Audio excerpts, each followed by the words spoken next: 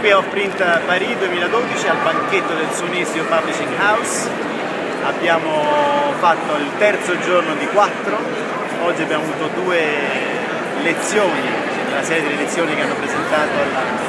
alla piccola saletta con l'emiciclo, uno che parlava del Blind Spectator, uno che parlava di un libro fatto da Alberto Di Michele su uh, suo papà, che è un criminale e che ha in qualche modo è stato arrestato e racconta la storia, un ritratto del padre, racconta la, il figlio che racconta il padre tramite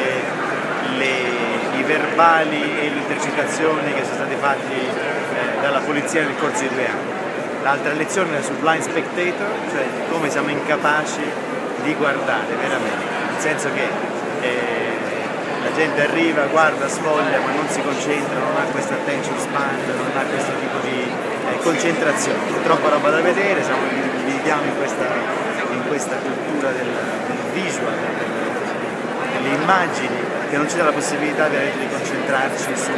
una cosa sola. Questa è la difficoltà di Offre in è la difficoltà di tanti eventi fatti in questa maniera